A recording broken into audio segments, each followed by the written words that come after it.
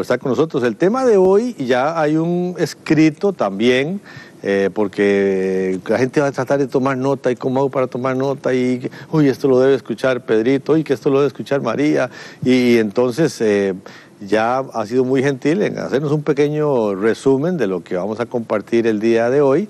Entonces ahí están las citas bíblicas, ahí están los comentarios, ahí están eh, los filósofos, ahí está la situación del ateísmo y todo lo que vamos a hablar. Así es que este, nada más entre a la página, al, WhatsApp de enlace, eh, ahí va a aparecer el número en pantalla y nada más entra ahí y va a la sección D, nada más diga hola o qué tal o salud, lo que sea, Ahí el robot es una máquina que le va a contestar y, le va a decir para servirle mejor en qué área tenemos. Entonces usted se va a la D, que es de descargas, se va a la A, yo no, yo no lo he hecho todavía, pero me imagino que una de las primeras ahí, usted va a ver don Armando Alducin y después va a ver entonces lo que vamos a hablar hoy con respecto a estas doctrinas filosóficas que han este, traído tanto, tanta dificultad a la sociedad. Pero bueno, empecemos, Roger.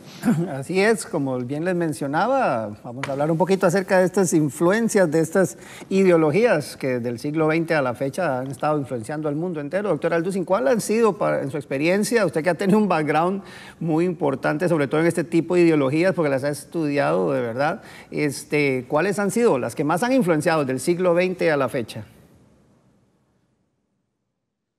Muy bien, ah, ahora sí que vamos a desarrollar algo muy interesante porque la primera palabra que Juan el Bautista mencionó, la primera palabra y la primera palabra que Jesús mencionó cuando vino a este mundo fue la palabra arrepiéntanse. ¿Qué hay detrás de esta palabra eh, tan conocida, verdad, en el Evangelio? Arrepiéntanse viene de la palabra, de la palabra griega metanoia, que significa cambio de mente, cambiar de manera de pensar.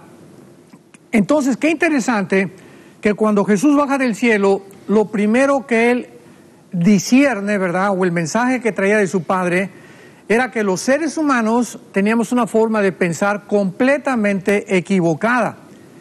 Y esta forma de pensar es la que determina, bueno, nuestras ideas, determina nuestra psicología, la psicología determina nuestra filosofía y nuestra filosofía determina la actitud que nosotros tenemos hacia la vida. Entonces, como dicen Proverbios, ¿cuál es su corazón? Así es él. Y la palabra corazón, lo vamos a ver más adelante, viene de la palabra lev en el hebreo, L de Lola, E de Enrique, B de, B de Víctor, que significa la mente, las emociones, los sentimientos y el intelecto. Entonces, cuando Jesús dice que cambió nuestra manera de pensar, es porque la raza humana ha sido envenenada, ha sido infiltrada, ha sido contaminada mentalmente. ¿De dónde ha venido toda esta basura que la mayor parte de nosotros hemos asimilado de las escuelas, muchas veces de una educación equivocada de parte de nuestros padres? Pero toda esta forma de pensar fue, ha sido influenciada principalmente, ya no quiero hablar de los últimos 18 eh, siglos, sino del siglo pasado, los más grandes pensadores del siglo XIX, eh, que nacieron en, en los primeros 50 años del siglo XIX, influenciaron todas las universidades, los museos, la política y la cultura y las mismas iglesias y las religiones con esta forma de pensar. Estos cuatro hombres, quiero rápidamente mencionarlos antes de poder desglosar el pensamiento de cada uno que vamos a ir desarrollando. En primer lugar fue Carlos Darwin, 1809, él nace. Marx, Carlos Marx, 1818. Observemos la, la, sucesión de sus nacimientos y cómo en menos de 50 años estos cuatro hombres nacieron.